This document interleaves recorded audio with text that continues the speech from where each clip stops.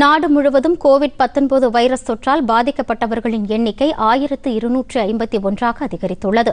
இதனைத் தொடர்ந்து நாட்டில் மருத்துவ பணியாளர்களுக்கு தேவையான பாதுகாப்பு கவசங்கள் எண் தொன்னூற்றி ஐந்து முகக்கவசங்கள் மற்றும் செயற்கை சுவாச கருவிகளை போதுமான அளவில் தயார் நிலையில் வைத்திருப்பதற்கான ஏற்பாடுகளை மத்திய அரசு செய்துள்ளது. இந்தியாவின் பல்வேறு பகுதிகளிலும் கோவிட் 19 வைரஸ் தொற்று பரவி வருகிறது. இதில் இதுவரை பாதிக்கப்பட்டோரின் எண்ணிக்கை ஆயிரத்து இருநூற்று ஐம்பத்தி ஒன்றாக அதிகரித்துள்ளது.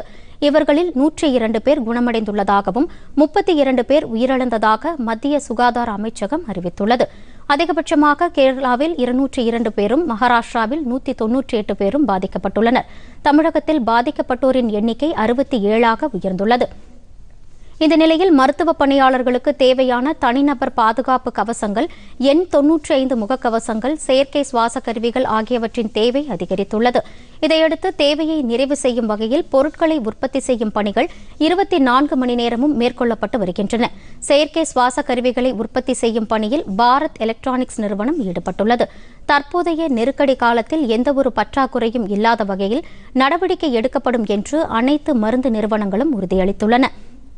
வாகன உற்பத்தியாளர்களும் கூட செயற்கை சுவாச கருவிகளை தயாரிக்கும் பணியில் ஈடுபட்டுள்ளதாக மத்திய அரசு தெரிவித்துள்ளது.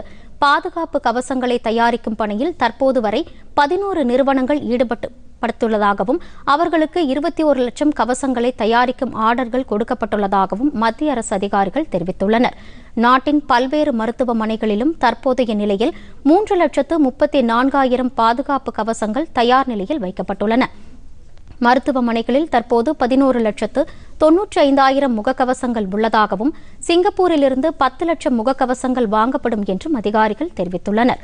நாடு முழுவதும் பதினான்காயிரத்திற்கும் மேற்பட்ட செயற்கை சுவாச கருவிகள் உள்ள நிலையில் தற்போதைய நிலையில் இருபதற்கும் குறைவான நோயாளிகளுக்கு மட்டுமே செயற்கை சுவாசம் அளிக்கப்பட்டு வருவதாக மத்திய அரசு தெரிவித்துள்ளது. நொய்டாவில் உள்ள அக்வா ஹெல்த் கேர் நிறுவனம் பாரத் எலக்ட்ரானிக்ஸ் உள்ளிட்டவை செயற்கை சுவாச கருவிகளை தயாரிக்கும் பணியில் ஈடுபட்டுள்ளதாக அதிகாரிகள் தெரிவித்துள்ளனர்.